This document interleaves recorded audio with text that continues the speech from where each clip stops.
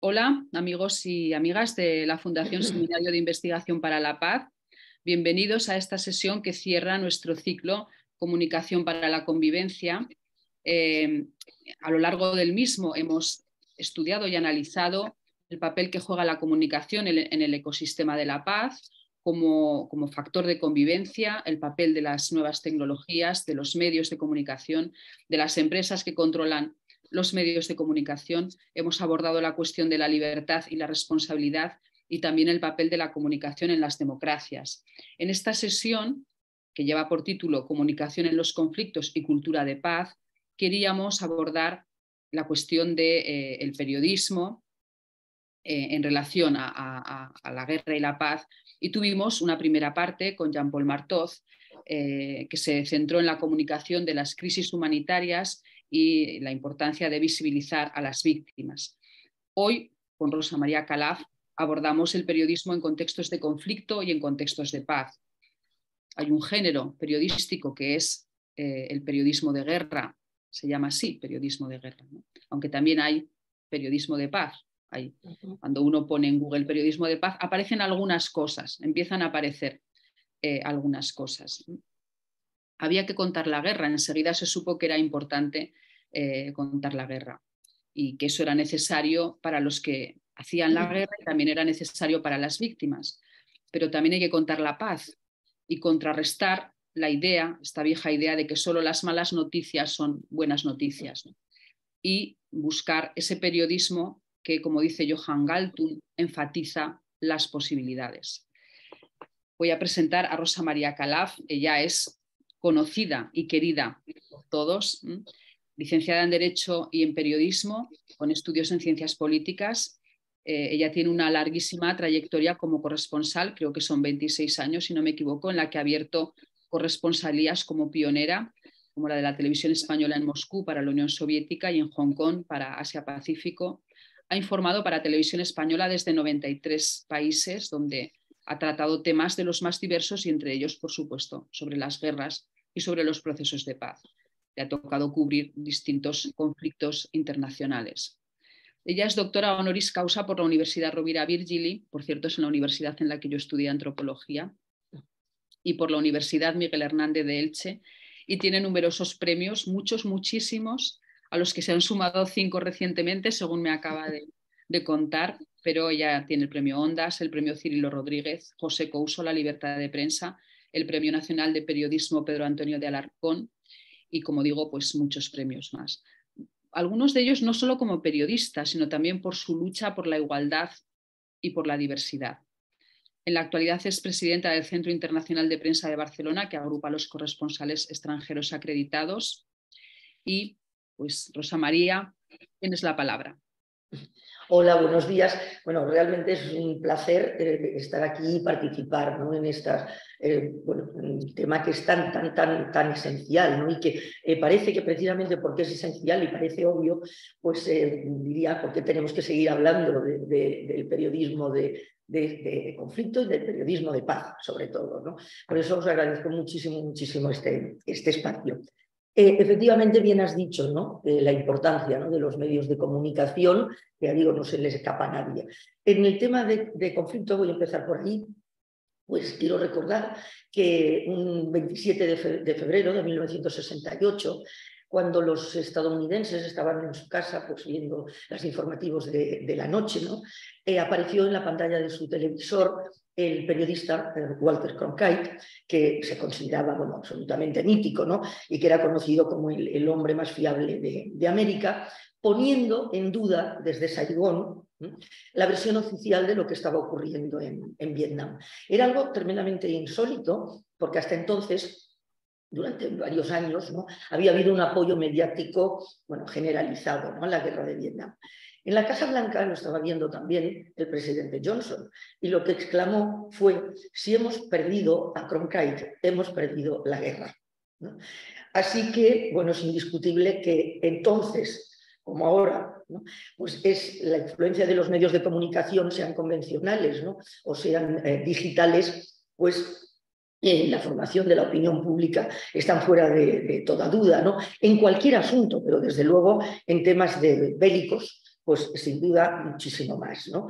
En los medios pueden contribuir a que las cosas cambien, a que se mantengan igual, a que peoren, a que mejoren, ¿no? y en suma realmente influyen en la génesis, en el desarrollo y en el desenlace de los conflictos. Eh, el papel de la prensa, eh, bueno, se dice muy a menudo ¿no? que es tan determinante como el de los eh, misiles. En Sarajevo recuerdo que em, te decían continuamente que nunca se hubiera llegado a lo que se llegó si no hubiera sido por la Guardia Pretoriana mediática serbia y croata.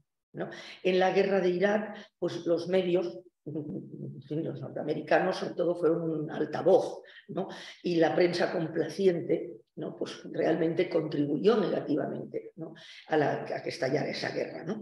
Así que tenemos que tener muy en cuenta esto, porque los medios nunca deben ser utilizados como munición ideológica, y, eso se puede hacer simplemente banalizando la información, ¿no? convirtiéndola en espectáculo. Y la responsabilidad del periodismo es enorme, ¿no? Y lo es por acción, pero lo es también por emisión, ¿no? porque tanto eh, ante la violencia como ante la paz, ¿no? pues eh, su contribución ¿no? a la hora de conformar una cultura por los que, que inculque el respeto por los derechos humanos es absolutamente fundamental.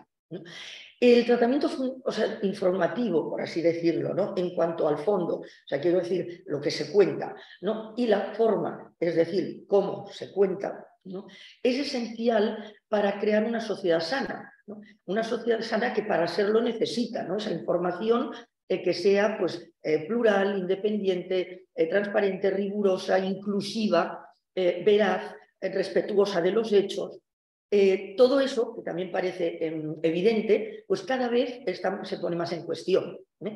El lenguaje, ojo con el lenguaje, ¿no? Eh, significa, en el caso de conflictos, por ejemplo, evitar siempre las expresiones de los combatientes ¿no? y los eufemismos, porque cuando se intenta cambiar el sentido de las palabras, ¿no? en el fondo lo que hay es una intención de manipular las ideas. en la comunidad de personas ¿no? solo será capaz de, enfrentarse a las intenciones desinformadoras si realmente tiene esa, eh, digamos, información de calidad y en la que pueda, en la que pueda confiar. Eh, no soy en absoluto eh, nostálgica, creo que la nostalgia, exceso de nostalgia no es nada saludable. Con esto lo que quiero decir es que siempre ha habido buen y mal periodismo que siempre ha habido voluntades manipuladoras de la información, ¿no? rigurosa, porque siempre ha sido difícil hacer visible lo que no, se quiere que se vea y contar aquello que se quiere que se calle. ¿no? Lo que ocurre es que en, en la actualidad me parece que se invierte más en desinformar que en informar y se consigue una mayor eficacia, ¿no? una mejor eficacia que nunca en esas malas, en esas malas prácticas. La manipulación, pues como digo, la propaganda siempre han existido, el sensacionalismo también, ¿no? pero su uso hoy es más sofisticado, su alcance es más veloz, es más amplio y evidentemente estas características son aplicables al periodismo de conflicto. Quiero aclarar que yo no me considero una corresponsal de guerra, pese a que eh, bueno, pues siempre normalmente se me califica como tal, y sí que quiero precisar que soy una corresponsal que ha estado en la guerra, cubriendo guerras, porque eh, pues bueno, me ha tocado que bueno, se produjeran conflictos en las regiones, en las zonas del mundo donde he estado eh, destinada. También es importante, me parece, que destaquemos que no solo la violencia se ejerce con, bombas y con disparos. ¿no? Eh, también se ejerce bueno, pues con políticas mm, injustas, con economías depredadoras, con mm, comunicación mentirosa, es decir, todo eso también conduce ¿no? a, una, a, una, violencia. Y realmente también se vive en la violencia de la miseria. Eh, y eso hay que tenerlo en cuenta. Estoy segura que Jean-Paul y otros compañeros esto lo han tratado, lo han tratado ya. ¿no? Y mm, la discriminación, es decir, la, represión eh, sobre las libertades de las personas, pues son también violencias. Es decir, no son armadas, pero son violencias. ¿no? Y eh, sobre todo en el, en el, campo de las mujeres. ¿no? Eh, Amartya Sen, el premio Nobel de la, de la India, dice siempre que hay 100 millones de personas que han desaparecido, de mujeres, perdón, que han desaparecido del mundo, ¿no? Y han desaparecido del mundo porque no han sido tratadas igual, ¿no? Ni en nutrición, ni en educación, ni en salud, ni en seguridad. ¿Eh? Bueno, yo, en fin, lo que me considero, la verdad, es mm, sobre todo corresponsal de la vida, ¿no? es decir, de contar, ¿no? por una parte, esas vidas, pues en la, como digo, en la, en la pobreza, eh, esas vidas en la, en la represión, esas vidas en la discriminación, pero sobre todo ¿eh? esas vidas en la fortaleza y en la determinación por no perder el futuro y por mm, ir ganando esos derechos eh, negados. Y aquí insisto otra vez eh, que eso es bueno, pues muy evidente en el ámbito de las mujeres. el papel de la, de la mujer en el, sobre el terreno se suele presentar eh, solo como víctima en los conflictos, cuando realmente no es así. Es decir, lo es una víctima, sin ninguna duda, pero al mismo tiempo lo que es es el sostén de la vida comunitaria. El día a día hace que se pueda seguir adelante y solo con el esfuerzo de, las mujeres eso es posible. ¿no? Se invisibiliza ese papel de protagonismo, de construcción de la social, ¿no? pero también se las invisibiliza eh, pues si empuñan las armas, que las hay. ¿no? Eh, bueno, pues las kurdas, por ejemplo, tuvieron un papel muy relevante en la defensa de su territorio y se las invisibiliza también cuando, por ejemplo, se hacen con las empresas, hacen funcionar la economía cuando enviudan o cuando sus maridos se, marchan al, campo de la batalla. ¿no? Eh, por tanto, ya digo, la violencia se puede eh, ejercer utilizando los mercados como brazo armado y de esas otras maneras que van a cercenar igualmente las posibilidades ¿no? de las personas y de la persona, que es lo que debe estar en el centro del interés informativo siempre y desde luego sobre todo en tiempo de, de conflicto. ¿no? El periodismo debe estar, ya digo, muy presente en todas estas modalidades. ¿no? Y mm, es, lo has dicho al principio, Luna es extremadamente importante en el relato de los conflictos, es decir, en lo que le llega a la ciudadanía y, por supuesto, en los procesos de paz. Eh, esta ponencia se centra, como has señalado, en estos dos, en estos dos aspectos. Eh, lo que me gustaría señalar es que la, cobertura de las hostilidades, la cobertura periodística, ha evolucionado significativamente ¿no? desde el punto de vista tecnológico, eso lo, vemos todos, pero también del conceptual. ¿no? Pero ambos, lógicamente, se entrelazan y se condicionan. ¿no? Eh, a grandes rasgos, pues durante la Primera Guerra Mundial fue la fotografía, en la Segunda Guerra fue la radio y el documental, en Vietnam fue la televisión con material elaborado previamente, en el Golfo fue la CNN 24 horas en directo Después Internet, los teléfonos móviles y en estos momentos, ¿qué es lo que tenemos? Pues una conexión omnipresente, ininterrumpida desde cualquier lugar. ¿no?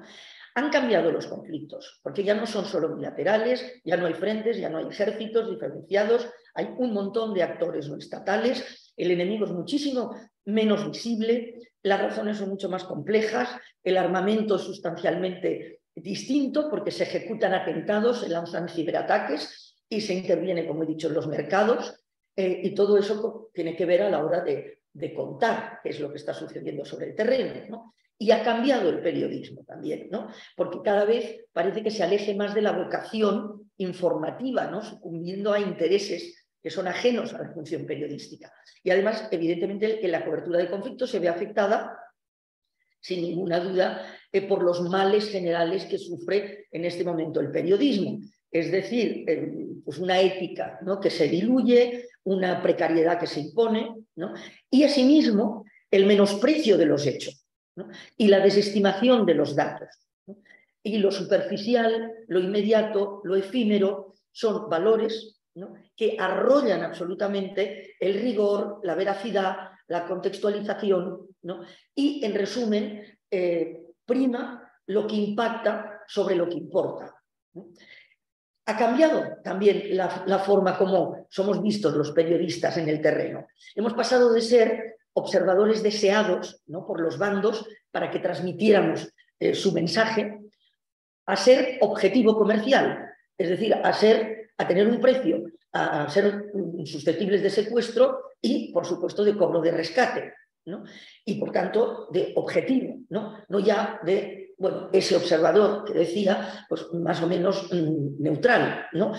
Posteriormente, fuimos considerados eh, intrusos, ¿no? claramente, y con el fin, con el fin de bueno, eliminar toda mirada ajena sobre lo que estaba sucediendo, ¿no?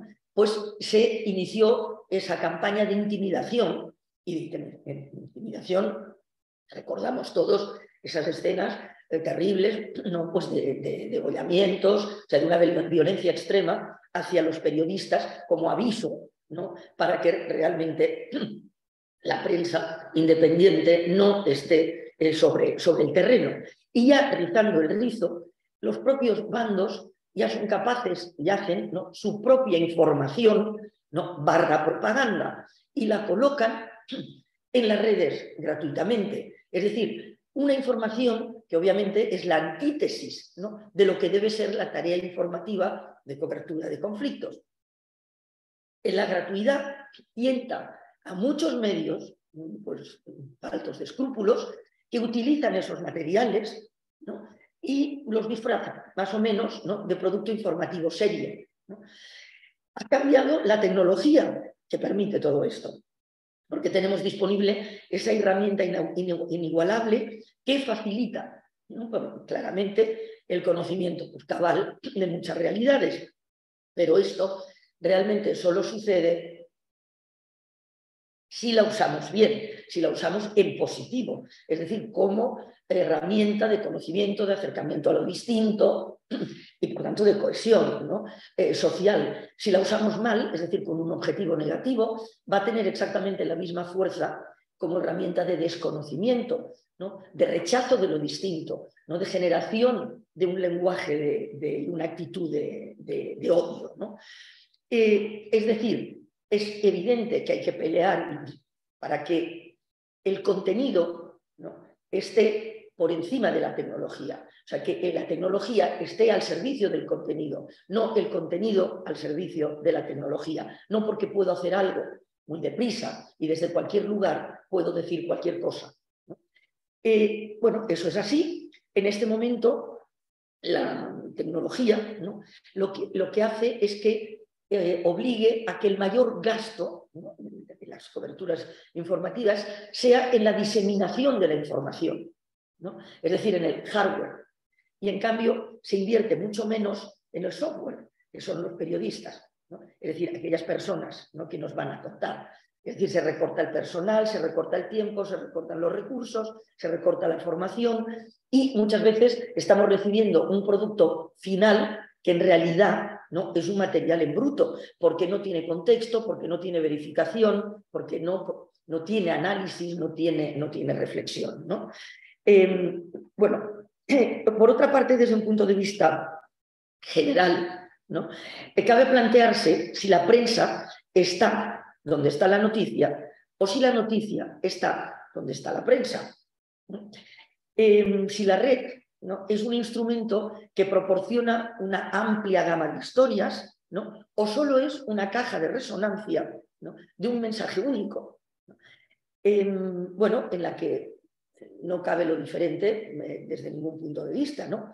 o que bueno, la red se comporta como un sustento simplemente ¿no? de, de algoritmos que produzcan burbujas informativas atrapa lectores, ¿no? simplemente. ¿no? Hay que preguntarse también si al periodista se le garantizan las condiciones ¿no? para poder gestionar los riesgos, establecer las prioridades y comprometerse con el rigor y rechazar todo efectismo gratuito, como es obviamente imperativo en una cobertura de, de conflictos. Es, por ejemplo, es muy discutible la invención del Pentágono en la guerra de Irak, ¿no? que consistía en empotrar periodistas con los soldados, o sea, convivir, convivir con ellos, etc.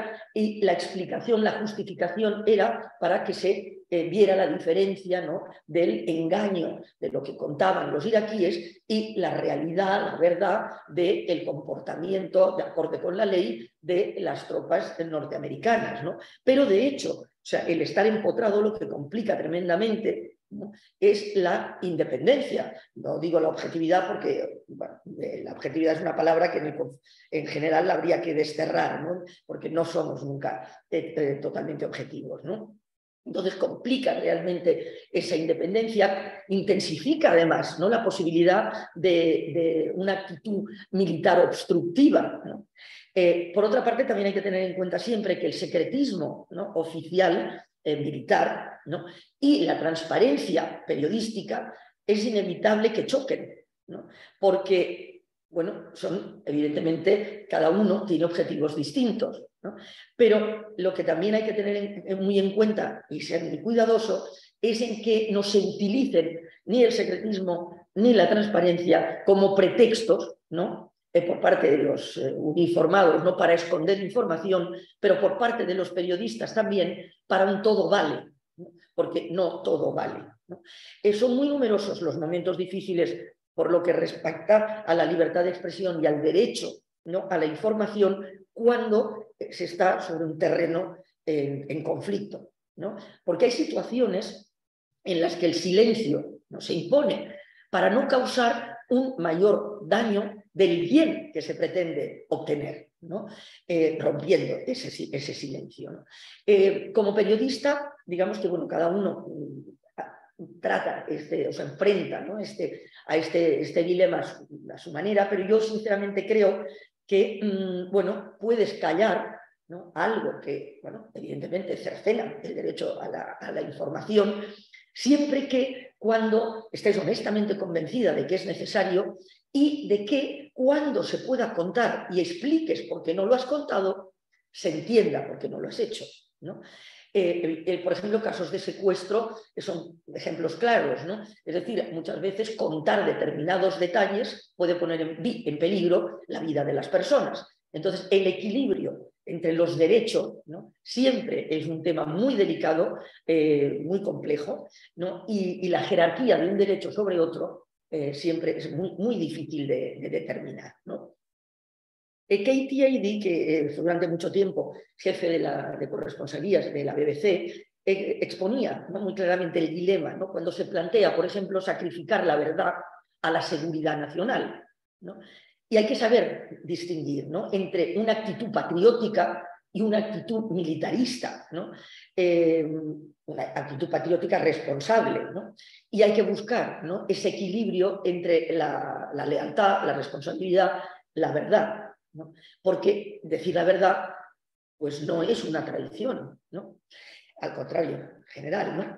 Eh, no puede ser tratada igualmente, ¿no? informativamente hablando, la víctima que el, que el verdugo. ¿no? Hay que hablar de las víctimas, hay que hablar de los victimarios, pero no obstante eso requiere posicionarse y provoca mucha polémica en ocasiones, ¿no? porque como periodista no debo tomar parte, ¿no? partido por ningún bando. Pero ¿qué pasa delante de la injusticia? ¿no? entre opresores y oprimidos. Y bueno, Xavier Giró, por ejemplo, especialista, eh, siempre dice que se acaba tomando partido. ¿no? Hay que ver qué temas se cuentan, qué temas no se cuentan, a quién se le da voz, a quién no se le da voz. ¿no? Y si realmente asumimos este cambio de lógica, es decir, aceptamos que siempre va a haber un, sesgo. ¿no? Es delicado porque coloca al periodista en una posición de actor, ¿no? que nunca debe estar en esa posición. El periodista es un simple intermediario entre, realidades. ¿no? Eh, y por tanto se convierte en, un actor ideológico, no solo en un, mediador transmisor. ¿no? Y evidentemente eso pone en cuestión pues, la creencia mayoritaria, ¿no? la cultura periodística más extendida, siempre ha rechazado la, intromisión en ese sentido. ¿no? Pero, como digo, hemos de asumir que miramos la realidad con ojos ideológicos porque estamos educados todos nosotros en un modelo. ¿no? Em, y como he dicho antes, la palabra objetividad hay que expulsarla en el trabajo periodístico, ¿no? porque debemos ser conscientes, y solo si lo somos, ¿no? de nuestros sesgos culturales, de nuestros prejuicios, etc., seremos capaces de neutralizarlos mejor. ¿no? Eh, bueno, no hay que eximir, evidentemente, actos criminales, sean del lado que sean, y lo que hay que mostrar es la inhumanidad de la guerra Explorar y explorar los conflictos en su complejidad. Y la verdad es que cada vez es más difícil relatar la violencia dispersa, mutante. Por ejemplo, tenemos el caso pues, de, Siria, que todos conocemos, ¿no?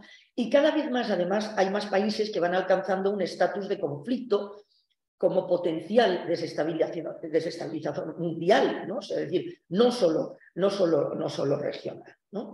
Eh, bueno, eh, creo que como ya llevo más o menos la mitad de lo que, de lo que eh, debo hablar, hablando de cómo, luego va a salir un poco más también, ¿no? pero de cómo eh, la dificultad de la cobertura sobre el terreno de, esas situaciones de conflicto, quiero pasar ahora a referirme a los procesos de paz. ¿Por qué? Pues como también señalaba un principio, lo importante que es hablar de eso y qué pocas crónicas vemos ¿no? sobre la paz sobre la respuesta, por ejemplo, no violenta a una confrontación, sobre la resistencia pacífica, sobre la reconciliación. ¿no? Eh, cuán necesarias son historias que enseñen las dificultades de las negociaciones de paz y, los esfuerzos de las comunidades para preservar esa paz y para prevenir la violencia. Y cuánto hay que repetir que la paz no se consigue con la guerra. Eh, el que se informe de crisis, eh, digamos, las homologadas, ¿no? y no se informe de precrisis y de poscrisis, ¿no? bueno, pues ¿qué muestra? No? Una indiferencia realmente eh, por el objetivo del periodismo, que es de servicio la, a, la, ciudadanía. Porque podemos pensar que si informáramos de las precrisis, a lo mejor no llegarían a convertirse en crisis. Y si informáramos de las poscrisis, a lo mejor nunca se repetiría, ¿no? Porque hay que informar de la tragedia, aunque no únicamente, ¿no? Porque también hay que hacerlo de las limitaciones ¿no? que tienen los conflictos.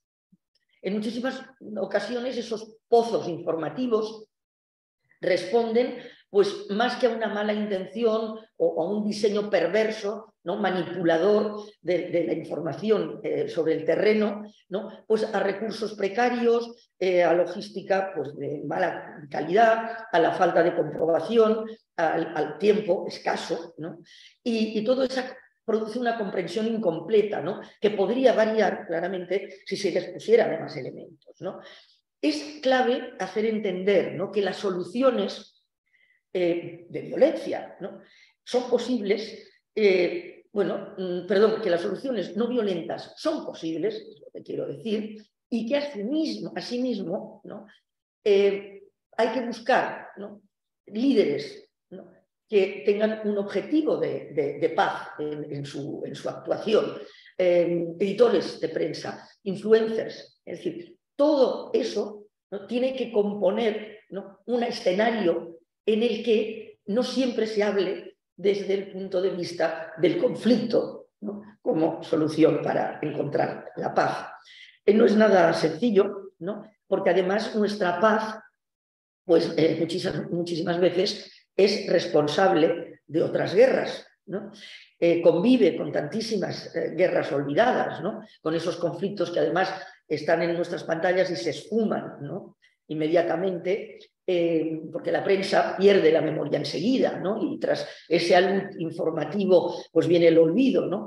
Eh, los medios se van muy rápidamente de los lugares y las víctimas y los problemas se quedan.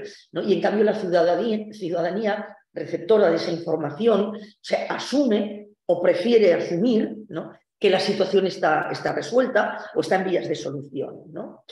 Eh, hay un tiempo de noticia, hay un tiempo de cansancio y hay un tiempo que ya no es para el recuerdo. Las consecuencias de los conflictos no interesan cuando resulta que precisamente la paz pasa por la recuperación de la memoria y precisamente frente al olvido. Eso nos hace pensar que debería haber un planteamiento estratégico, ¿no? estructural, ¿no? anterior a la información puntual de los conflictos, ¿eh? es decir, eh, la determinación de un periodismo que contribuya a la resolución y a la prevención de conflictos y en suma pues, a, la paz. Por lo tanto, que se establezca una manera distinta ¿no? donde poner el foco informativo y de cómo construir el, relato. Em, es bueno, grandes rasgos, ¿eh? es clave evitar ese impacto eh, gratuito que mm, empuja a la venganza, ¿no? a la deshumanización de un bando, al uso del lenguaje de los combatientes, como decía al principio, ¿no? y sobre todo esos mensajes sin contextualizar, sin explicar, que realmente lo que acaban consiguiendo es asustar y confundir. Se debe señalar, por ejemplo, siempre si se trabaja bajo censura o sujeto ¿no? a imposiciones de movimiento, de contacto con la gente, ¿no? porque en eso es en lo que se sustenta precisamente el contrato de confianza con el, con el receptor de la, de la información, porque cada vez con más frecuencia en el terreno, aparte de los empotrados que hablaba yo antes, es más, bueno, pues más habitual ¿no? que en grupo o individualmente se te lleve a ver ¿no? una determinada localización ¿no? que no eliges tú ¿no? y no se te deja es decir, se te veta ¿no? que puedas ir a ver aquello que tú quieras ver y contactar con aquellas personas con las que tú quieras hablar. ¿no? En, los conflictos y en los preconflictos se produce siempre esa constante, esa estrategia de manipulación de la prensa por parte de los, beligerantes. Y por tanto, los periodistas debemos esmerarnos muchísimo, no, caer en, la, en las trampas. Y ahí la formación, la experiencia, eh, bueno, pues requieren una, relevancia absolutamente primordial. La ética, por supuesto, eh, parece difuminarse, ¿no? parece ser de quita y pon. Ahora, ahora la aplicamos, ahora no la aplicamos. Y bueno, pues está claro que no todo vale eh, para conseguir audiencia o para complacer a la audiencia que, tenemos. Em, una cultura de paz no se hace sola y requiere esfuerzo, voluntad, requiere por encima de todo esa información responsable, comprometida con la verdad o la veracidad, que la verdad es una palabra muy grande, y con el respeto a las personas. Y, por ejemplo, no se puede olvidar que las cámaras, la prensa, con su presencia pueden provocar modificaciones del comportamiento para bien y para mal. Recuerdo, por ejemplo, en, Timor Oriental. Eh, pues en una ocasión incitaron realmente al asesinato a machetazos ¿no? de un partidario de la independencia de, la isla, pero en cambio en, en otras situaciones impidieron el linchamiento, por ejemplo, de colaboracionistas con el gobierno, ¿no? el gobierno de, Yakarta. ¿no? Eh, como profesional hay que saber interpretar esas señales, ¿no? cuando grabar o cuando no, porque hacerlo o no puede marcar la diferencia, ¿no? Y esa decisión no es nada fácil, ¿no? Sobre todo en situaciones de, de extrema tensión, ¿no? Tengo muchísimos ejemplos más, eh, pero voy a pasar, eh, ya directamente a señalar en esa misma línea, porque eso sí no querría, no querría olvidarlo, a las campañas de odio, ¿no? en, por ejemplo, las televisiones de Serbia y Croacia, como he dicho antes, meses antes de que estallara la guerra, de cómo Milosevic, como Tuchman, eh, usaron los medios ¿no? para propagar amenazas imaginarias, humillaciones supuestas, falsas atrocidades y caricaturas históricas. ¿no? Eh, caricaturas muy a menudo ¿eh? preparadas por intelectuales, por figuras religiosas muy respetables. ¿no? Por tanto, vemos muy claro que se contrapone lo que Luna decía al principio, un periodismo de paz y un periodismo de guerra. Porque el de paz requiere que se faciliten instrumentos a los medios de comunicación para que sean capaces de ofrecer nuevas formas de análisis que ayuden al ciudadano a considerar esas respuestas no violentas.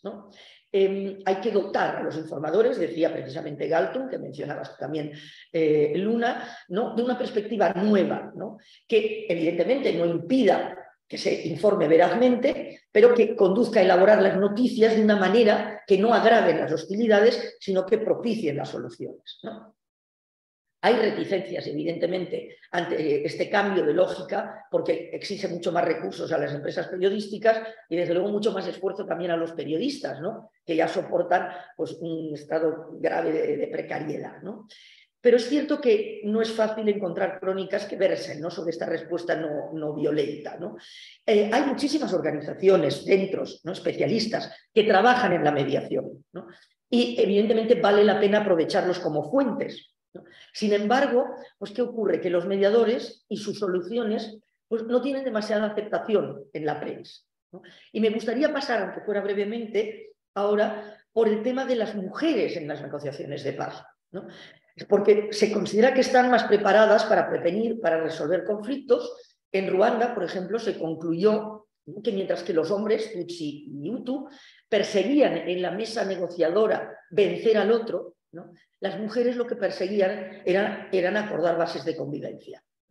El ámbito femenino siempre suele participar activamente en los movimientos a favor de la paz en sus eh, comunidades. Entonces, no es comprensible ni aceptable su ausencia en la mesa de negociación, una ausencia que es notoria, pero que en los últimos años, bueno, pues ha ido cambiando, ¿no? porque se ha ido aumentando la comprensión de sus aptitudes y habilidades y, bueno, pues Naciones Unidas, por ejemplo, ha adoptado varias resoluciones que promueven esa participación femenina, que integran además el género y los derechos como parte de los procesos de paz, también de los procesos de reconstrucción, se ha hecho algo, sin ninguna duda, para aumentar esa presencia y sobre todo esa capacidad eh, de intervenir con poder de decisión, no, no solo para la foto en, esa, en esas reuniones, pero bueno, los modelos imperantes, obviamente patriarcales, androcéntricos, etcétera, son el escollo principal para seguir caminando ¿no? a ese aumento ¿no? y para que de la retórica bueno, pues se, se pase a la aplicación real. ¿no? Eh, digamos que la mujer como intermediaria de la paz es una perspectiva que debe ser integrada ahora sistemáticamente. ¿no? Mujer, paz, seguridad deben componer pues, un, mismo, un mismo paquete. Son necesarias claramente historias ¿no? que expongan la temperatura de la paz en los diversos conflictos ¿no? y esa dificultad en las negociaciones y sobre todo que no confundan eh, negociación con solución. ¿no? Eh, son pues, mucho más necesarias historias que ayuden a entender ¿no? y, a promover esa, esa, esa, voluntad y ese, eh, ese, convencimiento de que realmente se puede intervenir en, pro, de la, en pro de la paz. ¿no? La, bueno, la producción mediática, sea convencional o sea digital, eh, igual que lanza estímulos de agresión, pues puede lanzar con la misma fuerza todo lo contrario. Eh, ah, bueno, quería comentar una, propuesta de Kate Spicer, que fue eh, del Consejo Audiovisual eh, Canadiense, en el que él hablaba, por ejemplo, de la importancia de tener un sistema de alerta internacional cuando los medios, por ejemplo, de algún país se detecta que empiezan a preparar el terreno para la guerra. ¿no? Un periodismo preventivo por parte de las organizaciones mediáticas, con mucho cuidado ¿no? de no caer en la propaganda, ¿no? como La Voz de América o Radio Martí, eh, tenemos ejemplos. ¿no? Después, una vez estalladas las hostilidades, pues actuar para contrarrestar ¿no? la propaganda y la mentira. ¿no? Eh, Naciones Unidas, recordemos que puso en marcha, por ejemplo, algunas emisiones para contrarrestar la radio de las mil colinas ruandesa que alentaba al genocidio, pero lo hizo con muchísimo retraso. Eh, también recibió, por ejemplo, poquísima ayuda el periódico eh, de la ex Yugoslavia en Sarajevo, Osloboviec y la radio de Bosnia que se instaló en un barco, derecho a la palabra. Todos fueron intentos, ¿no? pero bueno, muy, muy, muy débiles. ¿no? Y otra manera obvia de prevenir la ruptura de la paz pues es reducir las tensiones políticas y fomentar las prácticas de desarrollo equilibrado. Y una idea muy interesante, que paso muy rápidamente por ella, los niños. Los niños pueden ayudar aprendiendo a resolver disputas. Eh, la educación es una fórmula de reconciliación y un potencial tremendo, evidentemente, de prevención de, la paz. Para todo esto es obvio, y Spicer pues, también lo señala.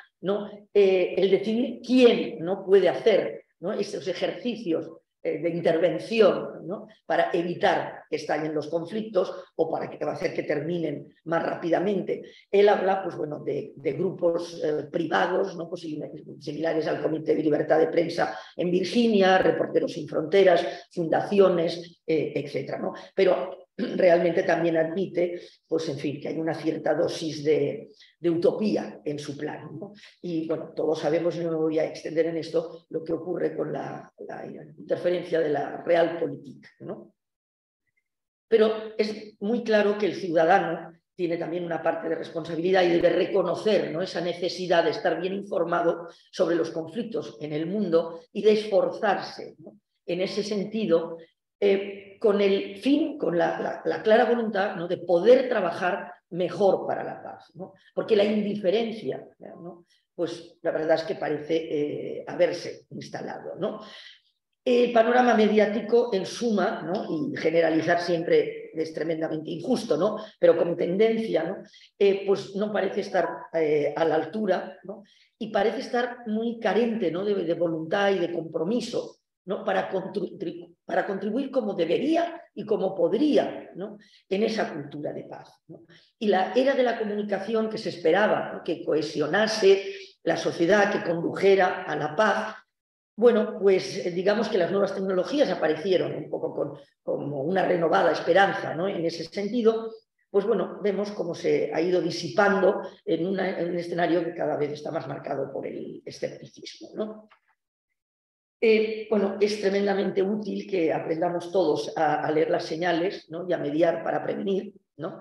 Eh, teniendo en cuenta siempre, lo hemos visto, tenemos muchos ejemplos, Srebrenica, por ejemplo, ¿no? pues que recibir el toque de alarma, la advertencia de que algo está por ocurrir y actuar, o tomar la decisión de actuar, son dos cosas distintas y no debería haber esa distancia. Eh, refiriéndome a la Unión Europea, ya para, para terminar, Sí que querría señalar que varios informes. Mm, bueno, señalan que las misiones internacionales suelen tener menor personal del requerido y que, es pues una queja, sinceramente, que he escuchado mucho sobre, sobre el terreno, ¿no? Eh, parecería como que se ha quedado sin capacidad para prevenir que los estados frágiles eh, se conviertan en estados, eh, en estados fallidos. ¿no? Bueno, identificar el problema lo antes posible y aplicar los remedios, pues es, absolutamente eh, crucial. ¿no? Y desde Afganistán al Cuerno de África, o en fin, desde miremos el mundo, echemos una, una, visión general, pues vemos que eh, Bruselas muestra una debilidad institucional, ¿no? Y eso representa el, mayor reto para el orden y la, estabilidad mundial, ¿no? Siempre parece que actúe mm, por debajo ¿no? de lo que sería necesario en las zonas de, conflicto. Esa fue la conclusión, ¿eh? además de, un informe, y, bueno, según los analistas, pues curiosamente, en cambio, no cuenta con una posición muy ventajosa para contribuir a los esfuerzos de paz en el exterior, porque aparte de tener un presupuesto amplio, en cualquier caso también es verdad que ha sido recortado, tiene una red de mm, casi 40.000 diplomáticos ¿no? repartidos por el mundo que pueden obviamente aportar información y, apoyo cuando pues, se produce una situación alarmante.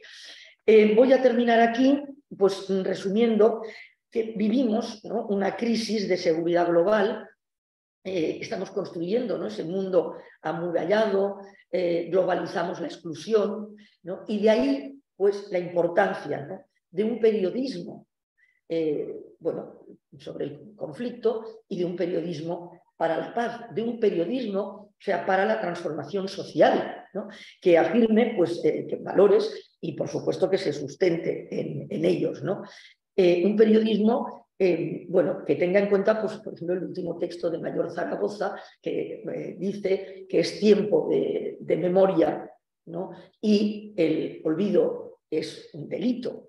Por tanto, eh, bueno, pues ese periodismo eh, en el que estamos hablando en estas, en estas jornadas y bueno, al que yo he querido aportar un poquito mi, inquietud y mis, reflexiones, pues eh, creo que es absolutamente clave para la construcción de un mundo en paz y pensando en poner en el centro de la atención a la persona. muchas gracias. Bueno, muchísimas gracias, Rosa María. Eh, aportaciones muy valiosas, muy, muy necesarias, que son un magnífico cierre, un magnífico broche de nuestro, de nuestro ciclo. Yo quería eh, preguntarte en dos, en dos sentidos, ¿no? En primer lugar, con todo ese bagaje y con todo este análisis que has compartido con, con nosotros sobre la manera en la que se informa sobre la guerra cómo estás viviendo, viendo y viviendo eh, la información de la guerra de Ucrania. Eh, cuando hablabas de ese sistema de alerta internacional, yo recordaba que asistimos a, la preparación de esta guerra en, etapas, ¿no? Fuimos viendo paso a paso, ¿no? Parecía que yo utilizo un poco, no sé si es, si es muy, muy correcta la expresión, que la sensación de que veíamos cómo se cocinaba eh, esa guerra, ¿no? Poco, poco a poco, como iban, se iban incluyendo cada uno de los ingredientes, ¿no? Entonces, mi primera pregunta iría en esa, en esa línea. Eh, ¿Cuál es un poco tu conclusión y, tu reflexión sobre cómo se está informando? Eh, también ha ido cambiando, ¿no? A cómo se informaba al principio, a, cómo está ahora, pero, pero bueno, ese, en este conflicto en particular. Sí, sí, no, no. Eh, creo que es lamentablemente un ejemplo de un poco todo lo que, lo que, lo que acabo de, contar. Y quiero insistir de todas maneras eh, de que siempre ha habido buen y mal periodismo, y ahora ocurre exactamente lo mismo con la cobertura de la guerra de Ucrania. ¿no? Hay muy buen periodismo, pero el tema es que hay que buscarlo porque y saber buscarlo.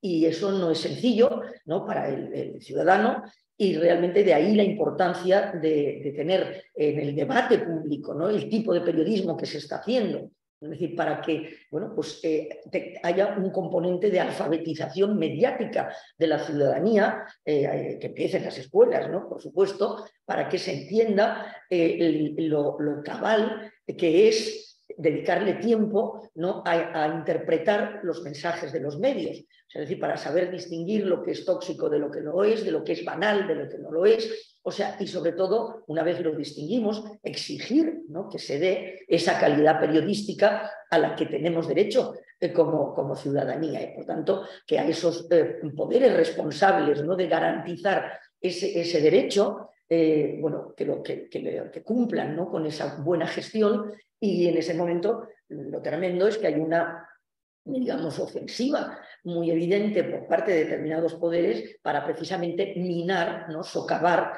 la prensa eh, crítica, o sea, independiente, eh, plural, etc. ¿no?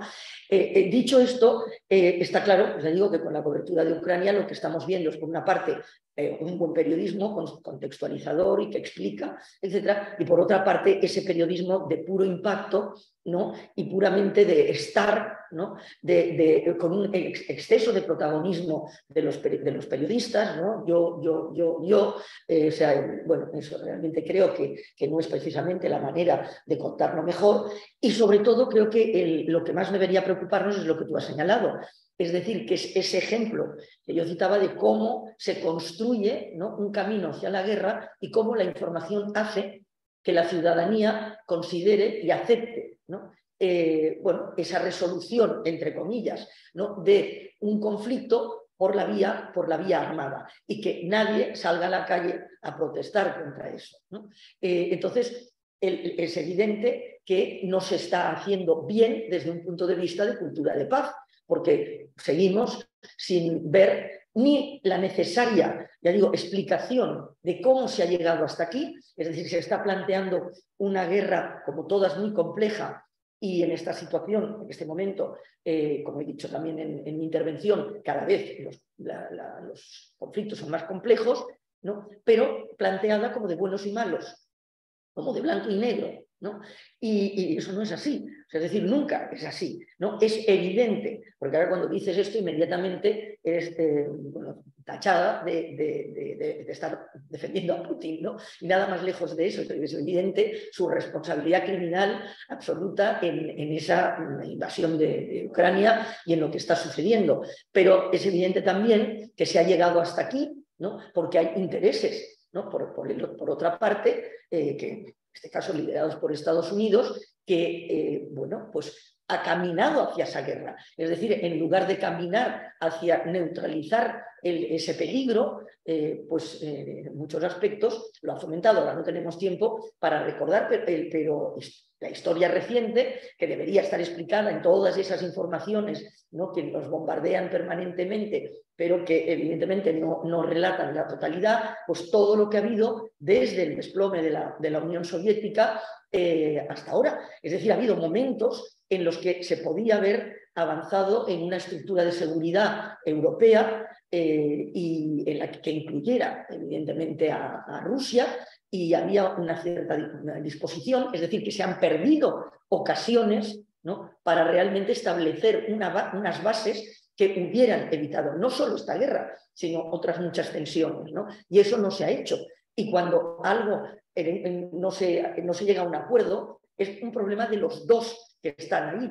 Y entonces esa, se repite otra vez esa idea o esos planteamientos que eran más de la Guerra Fría, ¿no? de librar guerras en territorio de otro ¿no? para dirimir conflictos de, poder, ¿no? que siempre tienen detrás trasfondos económicos eh, y, bueno, sobre todo, pues, y de control estratégico, ¿no? Eh, el territorio, como digo, de otro, es decir, en los muertos les pone otro, y, los propios muertos, en algunos casos, como ocurre en este momento pues, con los eh, rusos, bueno, pues sus dirigentes consideran que no, son, no hay que considerarlos porque son, en fin, material carne de cañón, ¿no?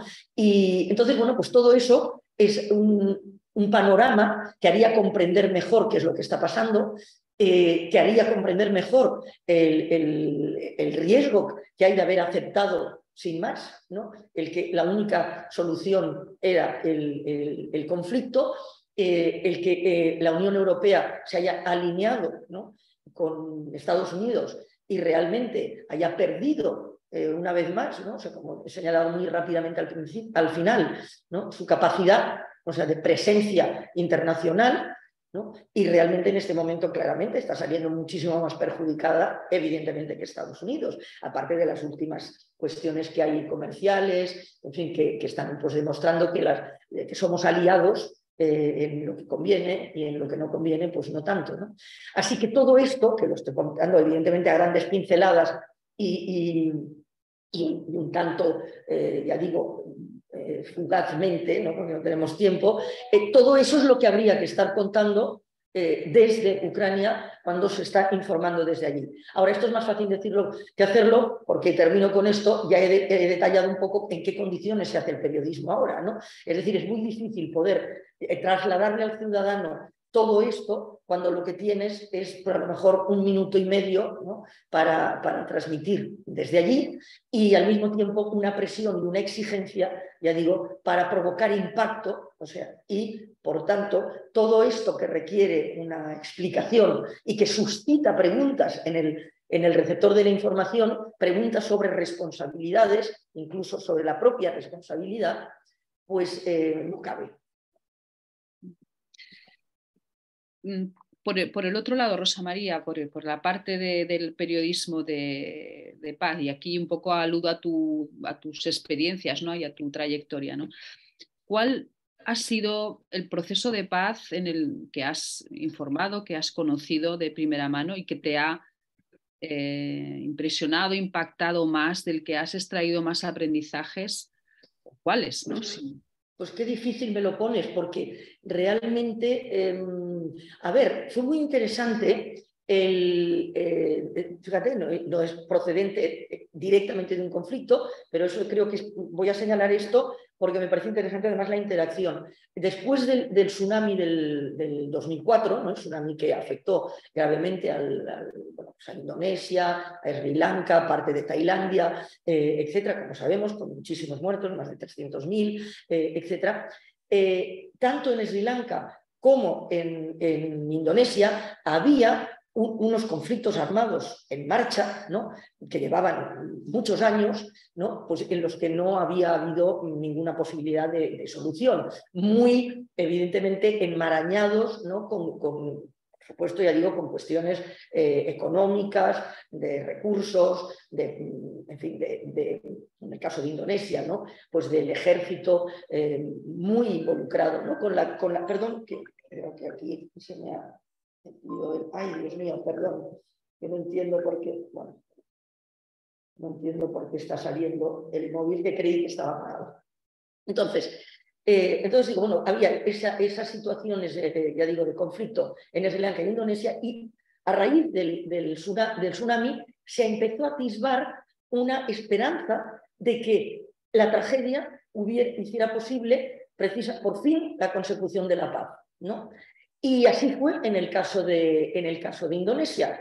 Eh, porque mm, verdaderamente pues, eh, se, logró, unos, se lograron unos, unos, acuerdos, se logró que el, ejército, ya digo, estaba muy involucrado ¿no? en la economía eh, local y no estaba dispuesto a precisamente pues, dejar de, en fin, todo ese poder económico que tenía, bueno, pues mm, se logró, que eso se, cambiara y que las posiciones se suavizaran, eh, etc. Entonces fue realmente mm, un momento muy interesante porque eh, se, vio, se empezó a ver a la hora de, empezar la acción humanitaria sobre el terreno que empezaba a haber un cambio de, posición eh, también por parte del, estamento militar. Y efectivamente eh, se acabó con, ese conflicto. En cambio, en el caso de, Sri Lanka, en el que había pues, ese conflicto entre el, gobierno de Colombo y el norte eh, tamil, entre, los, los tailandeses y, y, los tamiles, eh, bueno, pues ahí empezó a tener a haber problemas porque afectaba directamente a la ayuda, no sé, a lo mejor Jean Paul ha, comentado, porque es un caso también muy paradigmático, es decir, que llegaba la ayuda, pero entonces depende de a qué lado llegaba, no era compartida, etcétera, ¿no? Pero entonces también hubo un momento en que eso, mm, bueno, fue un poquito mejor y pareció que iba a conducir a que acabara, acabara el conflicto. Efectivamente, hubo claramente una tregua, ¿no? O sea, hubo allí, paró un poco todo, pero después se reemprendió y en ese caso, bueno, pues no fue tan, tan halagüeño y realmente el conflicto acabó, pero acabó con la inter, cuando, lo, cuando China eh, intervino en el conflicto de una forma activa, además con unos aviones, etcétera, pues simplemente interesada por poder construir, en fin, un puerto eh, para su nueva ruta de la seda. ¿no? Pero eh, ese proceso en ese momento fue extraordinariamente interesante, o sea, vivir, vivirlo en, primera persona, digo, sobre todo el de Indonesia. Bueno, pues creo que estamos sobre el tiempo, Rosa María, y vamos a dejar aquí la sesión. Te agradecemos muchísimo que hayas encontrado el hueco para esta conferencia, para completar nuestro, nuestro, ciclo con tu participación prevista. Y eh, agradecemos a todos los eh, miembros del SIP que, han eh, participado en este, en este ciclo, los que nos siguen por el canal de YouTube, que es donde ahora pueden disfrutar de esta estupenda eh, presentación de Rosa María. Y, hasta aquí este, este, ciclo que esperamos que, haya contribuido pues, a un debate que nos parece muy necesario, que es el papel que juega la comunicación en ese ecosistema eh, de la paz, con, todas las implicaciones que tiene y que eh, en el que, por supuesto, la manera de informar sobre la guerra, los procesos violentos y la manera de informar sobre la paz, pues son una clave fundamental. Gracias, Rosa María. Te mandamos un enorme abrazo y gracias a todos y a todas los que nos habéis escuchado. Pues eh, de verdad un abrazo a todos, un placer y un honor haber podido participar. Gracias.